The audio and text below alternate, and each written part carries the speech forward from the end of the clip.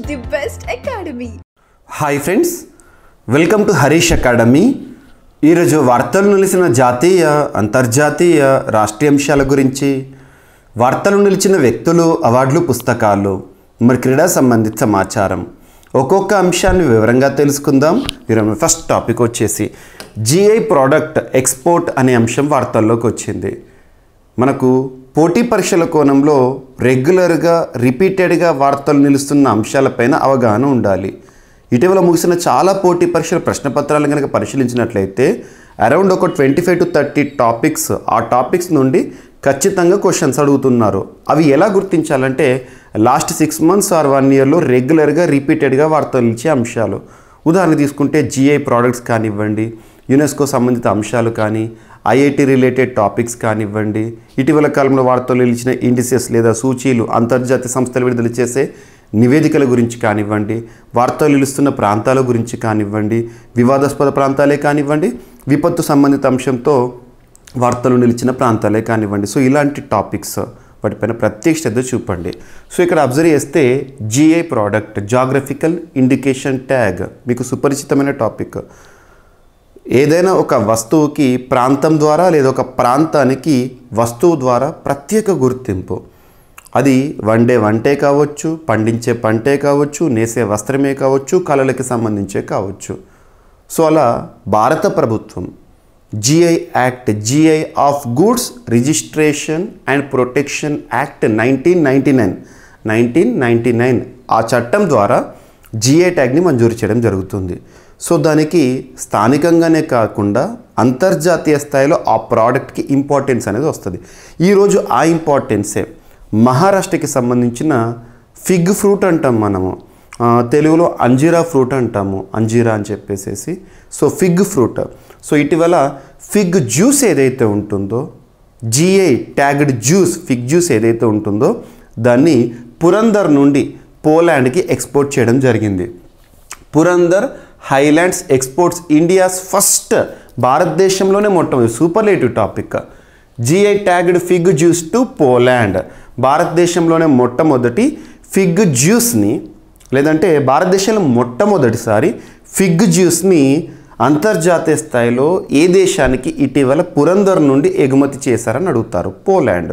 పురందర్ అంటే ఇక్కడ మహారాష్ట్ర. సో ఈ ఫిగ్ ఫ్రూట్ ఉంటుంది కదా ఆ ఫ్రూట్ యొక్క సైంటిఫిక్ నేము ఫైకస్ క్యారికా. గుర్తుపెట్టుకోవాల్సిన అవసరం లేదు ఈ సైంటిఫిక్ నేము. మనకు వార్తలు ఇచ్చిన నూతన జీవజాతులు కానీ మొక్కల జాతులు అయితే కానీ సైంటిఫిక్ నేమ్ గుర్తుంచుకోవాలి. ఇక్కడ అవసరం లేదు. కాకపోతే మీకు కన్ఫ్యూజన్ ఉండొద్దని చెప్పేసి సైంటిఫిక్ నేను చెప్పాను. సో భారతదేశంలో మొట్టమొదటిసారి fig fruit juice exported to Poland. మరి ఎవరు ఎక్స్పోర్ట్ చేస్తారు? ఎవరంటే మినిస్ట్రీ ఆఫ్ కామర్స్ పరిధిలో పనిచేస్తున్న ఒక సంస్థ. మినిస్ట్రీ ఆఫ్ కామర్స్ కామర్స్ అంటే ఏంటి? వాణిజ్య వ్యవహారాల మంత్రిత్వ శాఖ. ఎగుమతులు దిగుమతులకు సంబంధించిన కన్సర్న్ మినిస్ట్రీ వీరి ఆధ్వర్యంలో పనిచేస్తున్న అపేడా అనే సంస్థ. APEDA agriculture and processed foods exports development authority agriculture and processed foods agriculture and processed foods exports development authority so ఎక్స్పోర్ట్స్ని develop చేసే సంస్థ. సో మినిస్ట్రీ ఆఫ్ కామర్స్ పరిధిలో. సో వీరు ఈ ఫిగ్ ఫ్రూట్ జ్యూస్ని ఎక్స్పోర్ట్ చేయడం జరిగింది. ఎప్పుడైనా గుర్తుంచుకోండి భారతదేశం నుండి వ్యవసాయ ఉత్పత్తులు లేదా ప్రాసెస్డ్ అగ్రికల్చరల్ ప్రోడక్ట్స్ ఏవైతే ఉంటాయో వాటిని వేరే దేశానికి ఎగుమతి చేస్తున్నారంటే మనకు గుర్తుకు రావాల్సిన సంస్థ అక్కడ ఏ మంత్రిత్వ శాఖ పరిధిలో అనేది కూడా తెలియాలి ఐడియా ఉండాలి. ఓకేనా? సో ఇది ఫస్ట్ టాపిక్. నెక్స్ట్ వచ్చేసి మనకు లాస్ట్ ఇయర్ చూసాము రాష్ట్రీయ విజ్ఞాన్ పురస్కార్ అని చెప్పేసేసి కేంద్ర ప్రభుత్వం ఈ పురస్కారాలను ప్రారంభించింది. కానీ పురస్కార గ్రహీతల పేర్లను రెండు వేల ఇరవై నాలుగు సంవత్సరం నుండి మనం చూస్తాము అని చెప్పేసేసి. సో పురస్కార గ్రహీతలు ఈరోజు వార్తల్లోకి వచ్చారు. రాష్ట్రీయ విజ్ఞాన్ పురస్కార గ్రహీతలుగా మొట్టమొదటిసారి ఎవరిని ఈ పురస్కారం వరించింది? యాక్చువల్గా ఈ పురస్కార గ్రహీతలకు పురస్కారాన్ని ఎప్పుడు ప్రదానం చేశారంటే August twenty third very very important science and technology ఫీల్డ్లో అంతకుముందు శాంతి స్వరూప్ భట్నాగర్ పురస్కారం అనేది ఇచ్చేవారు. సో ఇప్పుడు భారతదేశంలో సైన్స్ అండ్ టెక్నాలజీ రిలేటెడ్గా అత్యున్నత పురస్కారాలుగా రాష్ట్రీయ విజ్ఞాన్ పురస్కారాలు కేటగిరీ వైజ్గా ఇస్తున్నారు. సో ఈ సంవత్సరం మొదటిసారి పురస్కార గ్రహీతలను ఎంపిక చేశారు ఆగస్టు ట్వంటీ థర్డ్.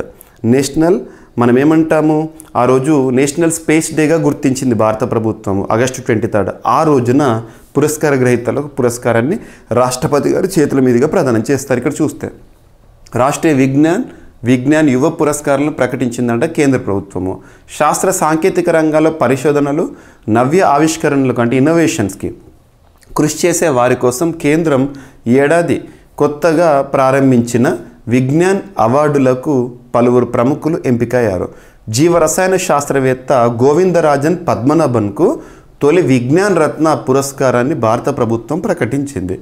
ముప్పై మూడు మంది రాష్ట్రీయ విజ్ఞాన్ పురస్కారాలను మరో పద్దెనిమిది మంది విజ్ఞాన్ యువ పురస్కారాలను ఇంకో పదమూడు మంది విజ్ఞాన్ శ్రీ పురస్కారాలను అందుకొని ఉన్నారు విజ్ఞాన్ టీమ్ అవార్డును చంద్రయాన్ త్రీ బృందం సొంతం చేసుకొనుంది. ఈ నెల ఇరవై మూడున ఆగస్టు ట్వంటీ థర్డ్ రోజున ఈ పురస్కారాలను రాష్ట్రపతి ద్రౌపది ముర్ము గారు విజేతలకు ప్రదానం చేస్తారు. గుర్తుపెట్టుకోండి.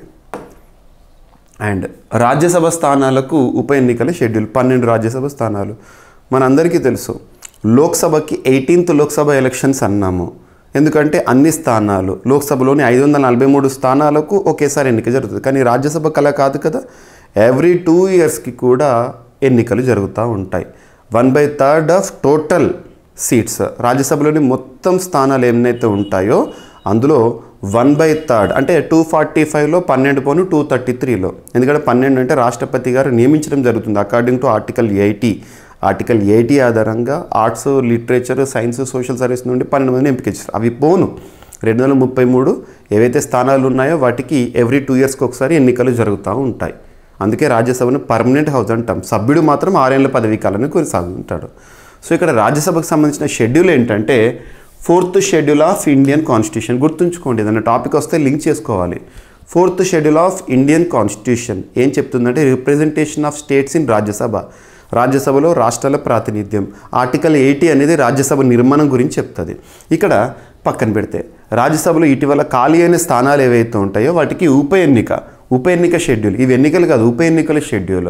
ఎందుకంటే వివిధ కారణాల వల్ల సభ్యుల ఖాళీ ఏర్పడింది. వాటికి ఎన్నికలు నిర్వహిస్తామని ఎలక్షన్ కమిషన్ ఆఫ్ ఇండియా వారు చెప్పడం జరిగింది. సో ఇక notification. Election commission of India భారతదేశంలో రాజ్యాంగబద్ధ సంస్థ ఆర్టికల్ త్రీ ట్వంటీ ఫోర్ ఆధారంగా పనిచేస్తుంది. పార్ట్ ఫిఫ్టీన్ ఆఫ్ ఇండియన్ కాన్స్టిట్యూషన్లో ఎలక్షన్ కమిషన్ గురించి ప్రస్తావించడం జరిగింది. వారే రాజ్యసభకు కూడా ఎన్నికలు నిర్వహిస్తారు. సో రాజ్యసభలో ఖాళీ అయిన పన్నెండు స్థానాలకు ఉప ఎన్నికల షెడ్యూల్ విడుదలైంది. తొమ్మిది రాష్ట్రాల్లోని ఆయా స్థానాలకు షెడ్యూల్ను ఈసీ విడుదల చేసింది. ఈ నెల పద్నాలుగున నోటిఫికేషన్ విడుదల కానుంది. నామినేషన్ల దాఖలకు ఈ నెల ఇరవై ఒకటి తుది గడువు. సెప్టెంబర్ మూడున ఉదయం తొమ్మిది నుంచి సాయంత్రం వరకు పోలింగ్ జరిగింది అదే రోజు ఓట్ల లెక్కింపు కూడా చేపట్టబోతున్నారు. సో పలు ఆర్థిక బిల్లులకు లోక్సభ ఆమోదం అంట. సో ఆర్థిక బిల్లు రెండు వేల ఇరవై నాలుగును లోక్సభ బుధవారం ఆమోదించింది. ఇక ఈ బిల్లు చర్చ కోసం రాజ్యసభకు వెళ్ళనుంది. దాన్ని తిరస్కరించే అధికారం ఎగువ సభకు ఉండదు. పద్నాలుగు రోజుల్లోగా ఆ, సభ బిల్లుకు ఆమోదముద్ర వేయకపోతే అది ఆమోదం పొందినట్లు భావిస్తారు.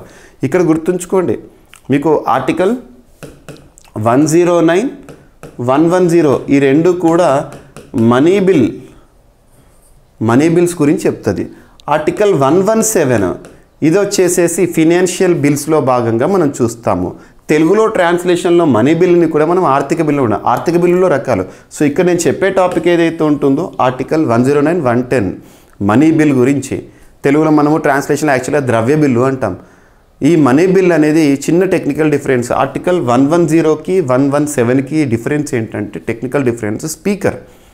ఏ bill article one one zero ఆధారంగా ప్రవేశపెట్టాలి సభలో. ఏ bill article one one seven ఆధారంగా ప్రవేశపెట్టాలని స్పీకర్ గుర్తింపు.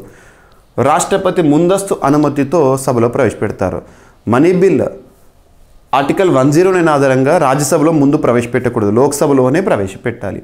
లోక్సభకి అధికారం అనేది ఉంటుంది. లోక్సభ ఆమోదించిన తర్వాత రాజ్యసభకి వెళ్తుంది. కానీ ఫోర్టీన్ డేస్ లోపల వాళ్ళ నిర్ణయాన్ని చెప్పాలి. ఆమోదించాలి లేదా నిర్ణయాన్ని చెప్పాలి. దానిలో సవరణలు చేసే అధికారము తిరిగి పంపించే అధికారం లేదు. సో రాజ్యసభ ఆమోదించినా ఆమోదించకపోయినా లోక్సభ ఆమోదమే ఫైనల్ డెసిషన్. సో దీని గురించి మీరు ఇన్ డీటెయిల్గా చూడండి మీకు. పార్ట్ ఫైవ్ ఆఫ్ ఇండియన్ కాన్స్టిట్యూషన్లో రకరకాల బిల్లులు ఉంటాయి కదా అక్కడ మనం చూడాలి. సో వీటి వద్ద టెక్నికల్ డిఫరెన్స్ మళ్ళీ ఆర్టికల్ వన్ వన్ సెవెన్లో టూ టైప్స్ ఆఫ్ బిల్స్ ఏంటి ఇవి కూడా అడుగుతారు. ఫస్ట్ టైప్ ఏమో సేమ్ ఇలాగే ఉంటుంది సెకండ్ టైప్ డిఫరెన్స్ ఉంటుంది అలా.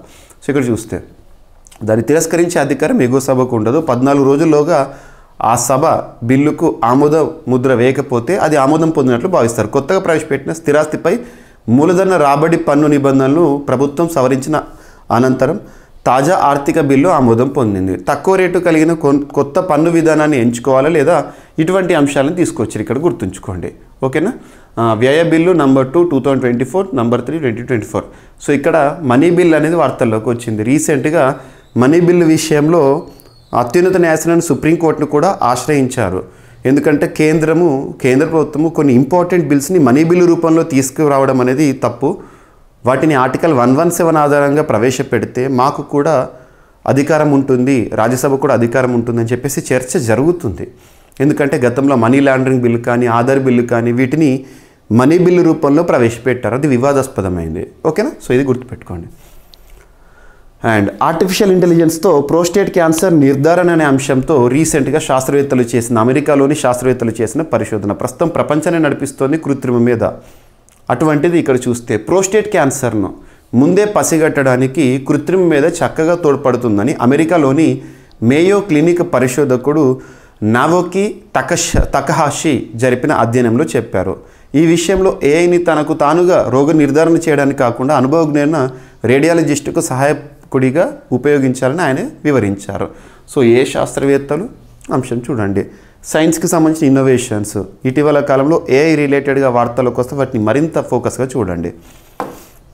అండ్ మనము ఎన్ని ఖండాలు అంటే ఏడు అంటాం కదా? అవి ఏడు కాదట ఆరేనట. ఇంకా ఉత్తర America north America Europe continent విడిపోలేదంట. ఇటీవల శాస్త్రవేత్తలు చెప్తున్న పరిశోధన నూతన అధ్యయనము. ప్రపంచంలో మొత్తం ఎన్ని ఖండాలు ఉన్నాయన్న ప్రశ్న ఎవరికైనా ఎదురైతే టక్కున మనం ఏడని చెప్తాము. ఎందుకంటే Africa Antarctica Asia Australia Europe ఉత్తర అమెరికా దక్షిణ అమెరికా ఖండాలుగా మన భూగోళం విడిపోయిందని చిన్నప్పుడే చదువుకున్నాం. కనుక కానీ అందులో నిజం లేదట. వాస్తవానికి భూగోళంపై ఏడు ఖండాలు లేవని ప్రస్తుతానికి ఆరు ఖండాలే ఉన్నాయని నూతన అధ్యయనంలో తేల్చారు.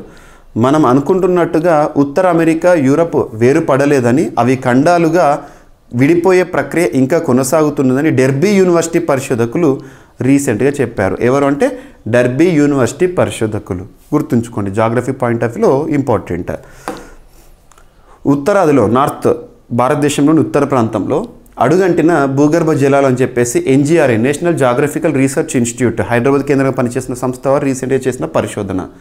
సో ఉత్తర భారతంలో భూగర్భ జలాలు వేగంగా అడుగంటిపోతున్నాయి. ఎన్జిఆర్ఐతో పాటు పలు పరిశోధన సంస్థలు చేసిన అధ్యయనంలో ఈ విషయం వెల్లడైంది.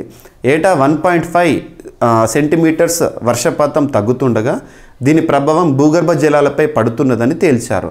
వ్యవసాయ అవసరాల కోసం విపరీతంగా భూగర్భ జలాలను తోడేయటం కూడా ఓ కారణమని వెల్లడించారు. నైన్టీన్ ఫిఫ్టీ వన్ నుంచి ట్వంటీ ట్వంటీ వన్ వరకు శాటిలైట్ డేటా హైడ్రలాజికల్ మోడల్ విధానంలో సేకరించిన డేటాను విశ్లేషించి భూగర్భ జలాలను లెక్కించారు. రెండు వేల రెండు రెండు వేల ఇరవై ఒకటి నాటికి సుమారు నాలుగు వందల యాభై క్యూబిక్ మీటర్ కిలోమీటర్ల పరిమాణంలో వీటిని కోల్పోయినట్టుగా నీటిని కోల్పోయినట్టుగా చెప్తున్నారు. చంద్రుడిపై నాసా లైట్ హౌస్. ఇటీవల కాలంలో లూనార్ మిషన్స్ లేదా మూన్ మిషన్స్ చంద్రుడిపై ప్రయోగాలు పెరుగుతూనే ఉన్నాయి. ముఖ్యంగా అన్నిటికంటే అద్భుతమైన విజయం ఏంటంటే August twenty twenty three August twenty third twenty twenty three రోజున భారతదేశం సాధించిన ఘనత ఏ దేశం కూడా సాధించని ఘనత చంద్రుని యొక్క దక్షిణ ధ్రువంపై ల్యాండ్ అవ్వడం విక్రమ్. ఆ తర్వాత రీసెంట్గా చంద్రుని పైన శాంపుల్స్ కోసం చాంగే సిక్స్ చంద్రుని యొక్క ఆవలి వైపున ప్రయోగం అని చెప్పేసి వార్తల్లోకి వచ్చింది చైనా.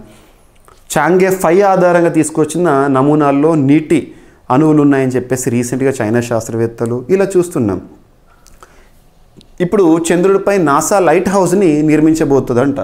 చంద్రుడి ఉపరితలంపై లైట్ హౌస్ను నిర్మించేందుకు నాసా సమాయత్తం అవుతుంది చంద్రుడిపైకి వెళ్ళాలనుకునే వ్యోమగాములు రోబోలకు ఉపయోగపడేలా ఈ లైట్ హౌస్ ఏర్పాటుకు నిర్ణయించినట్లు తెలిపింది. దీనికోసం ఇప్పటికే లూనార్ నోడ్ వన్ నావిగేషన్ వ్యవస్థను పరీక్షించారు. గత ఫిబ్రవరిలో చంద్రుడిపై ముప్పై నిమిషాల పాటు లైట్ను వెలిగించినట్లు నాసా తెలిపింది. లోకల్ నెట్వర్క్ ఏర్పాటు చేసి సుస్థిరమైన లైట్ హౌస్ని ఏర్పాటు చేసేందుకు సిద్ధం అవుతున్నామని వివరించడం జరిగింది. అండ్ అమెరికాకు సంబంధించి బాల్డ్ ఈగల్ జాతీయ పక్షిగా గుర్తింపు పొందింది. రెండు వందల నలభై ఏళ్ళ తర్వాత ఖరారు చేశారట అమెరికన్స్. సో అమెరికా జాతీయ పక్షిగా బాల్డ్ ఈగల్ను గుర్తిస్తూ ఆ దేశ సెనెట్ అంటే ఆ దేశ పార్లమెంట్లో ఒక సభ కీలక నిర్ణయం తీసుకుంది. దాదాపు రెండు వందల నలభై ఏళ్ళుగా ఈ పక్షిని అమెరికాలో అధికార చిహ్నంగా వాడుతున్న జాతీయ పక్షి హోదా మాత్రం ఇప్పటికీ దక్కలేదు. రెండు వందల ఏళ్ళకు పైగా ఎదురుచూపులకు ముగింపు పలుకుతూ సెనెట్ పార్లమెంట్ ఎగువ సభ వాళ్ళది. జాతీయ పక్షిని ఖరారు చేసింది. ఇందుకు సంబంధించిన బిల్లును ఎట్టకేలకు ఆమోదం లభించింది. మినెసోటా డెమోక్రట్ ఇవన్నీ మనకు అవసరం లేదు. ఇటీవల ఏ దేశం దాదాపు రెండు వందల నలభై ఏళ్ళ తర్వాత జాతీయ పక్షిగా బాల్డ్ ఈగల్ని గుర్తించడం జరిగిందంటే అమెరికా. అండ్ ప్రధానమంత్రి జన్ధన్ యోజన మనందరికీ తెలుసు. రెండు వేల పద్నాలుగు ఆగస్టు మంత్లో ప్రారంభించబడిన ప్రతిష్టాత్మక పథకం కేంద్రంలో ప్రభుత్వంగా నరేంద్ర మోదీ గారి ప్రభుత్వం ఏర్పడిన తర్వాత రెండు వేల పద్నాలుగులో కదా నరేంద్ర మోదీ గారి ఎరా ప్రారంభమైంది? ఆ తర్వాత ఆగస్ట్ మంత్లో సో బ్యాంక్ అకౌంట్స్ ప్రతి ఒక్కరికి కూడా అందుబాటులో ఉండాలని చెప్పేసి ప్రారంభించడం జరిగింది. సో ఈ జన్ధన్ యోజన యొక్క రిజల్ట్ జూలై నైన్టీన్త్ వరకు ఏ విధంగా సత్ఫలితాన్ని ఇచ్చింది? దాదాపు టెన్ ఇయర్స్లో యాభై రెండు పాయింట్ ఎనిమిది ఒకటి కోట్ల అకౌంట్స్ని సృష్టించారని ఇచ్చారంట. Fifty two point eight one crores accounts Jan Dhan Yojana accounts ఇచ్చారంట దేశంలో. అందులోని డిపాజిట్స్ రెండు లక్షల ముప్పై వేల ఏడు వందల తొంభై రెండు కోట్ల డిపాజిట్స్ ఉన్నాయంట. సో గుర్తుంచుకోండి ఈ టెన్ ఇయర్స్లో ఇన్ని అకౌంట్స్ సాధించిన విజయం. అండ్ జాతీయ చేనేత పురస్కారం అందుకున్న తెలంగాణ కళాకారుడు. నిన్న రోజున మనం చూసాం ఆగస్టు సెవెంత్ జాతీయ చేనేత దినోత్సవం. సో దేశవ్యాప్తంగా జరుపుకుంటాం హ్యాండ్లూమ్ డే. సో ఇక్కడ చేనేత అవార్డు. ఢిల్లీలోని విజ్ఞాన్ భవన్లో కేంద్ర జౌలి శాఖ ఆధ్వర్యంలో బుధవారం నిర్వహించిన జాతీయ చేనేత దినోత్సవంలో తెలంగాణలోని యాదాద్రి జిల్లా చౌటుప్పల్ మండలం కొయ్యలగూడెనికి చెందిన కళాకారుడు కర్ణాటి ముఖేష్ భారత ఉపరాష్ట్రపతి జగదీవ్ ధన్కర్ దేవ్ చేతుల మీదుగా జాతీయ చేనేత పురస్కారం అందుకోవడం జరిగింది. సో ఈ- ఇందులో రెండు లక్షల నగదు పురస్కారాన్ని కూడా తనకు ఇవ్వడం జరిగింది. దేశవ్యాప్తంగా ఇరవై ఏడు మంది ఉంటే తెలంగాణ నుంచి మన వ్యక్తి పేరు గుర్తుంచుకోండి. కొయ్యలగూడెనికి చెందిన కళాకారుడు కర్ణాటి ముఖేష్. సో ఇవి ఫ్రెండ్స్ ఈరోజు వార్తలు నిలిచిన అంశాలు. ఒకసారి ర్యాపిడ్గా చూస్తే సో భారతదేశం నుండి మొదటిసారి పోలాండ్ దేశానికి ఫిగ్ జ్యూస్ ఎక్స్పోర్ట్ అనే అంశము. అండ్ గోవిందరాజన్ పద్మనాభంకి తొలి విజ్ఞాన రత్న పురస్కారము. అండ్ పన్నెండు రాజ్యసభ స్థానాలకు ఉప ఎన్నికల షెడ్యూల్ విడుదలైంది. ఆర్థిక బిల్లుకు లోక్సభ ఆమోదం అనే అంశము. అండ్ ఆర్టిఫిషియల్ ఇంటెలిజెన్స్తో ప్రోస్టేట్ క్యాన్సర్ నిర్ధారణ చేసే అంశంపై అమెరికా శాస్త్రవేత్తల పరిశోధన. ఖండాలు ఏడు కాదు ఆరే అని చెప్పేసి ఇటీవల డెర్బీ యూనివర్సిటీ పరిశోధకులు వెల్లడించిన నిజాలు. ఉత్తరాదిలో అరుగంటిన భూగర్భ జలాలని చెప్పేసి నేషనల్ జాగ్రఫికల్ రీసెర్చ్ ఇన్స్టిట్యూట్ పరిశోధన. చంద్రుడిపై నాసా లైట్ హౌస్ నిర్మాణం అనే అంశము. అమెరికా జాతీయ పక్షిగా దాదాపు రెండు వందల నలభై ఏళ్ళ తర్వాత ఖరారైన బాల్డ్ ఈగల్. ప్రధానమంత్రి జన్ధన్ యోజన అకౌంట్స్ ఫలితము. జాతీయ చేనేత పురస్కారం అందుకున్న తెలంగాణ కళాకారుడు. సో కర్ణాటి ముఖేష్ గుర్తుంచుకోండి పేరు. సో ఇవి ఫ్రెండ్స్ ఈరోజు వార్తలు నిలిచిన అంశాలు. మిస్లేని అంశాలు మిగిలిపోతే రేపటి క్లాస్లో జోడించి మరొకసారి నేర్చుకుందాం. రేపు కలుద్దాం. Thank you.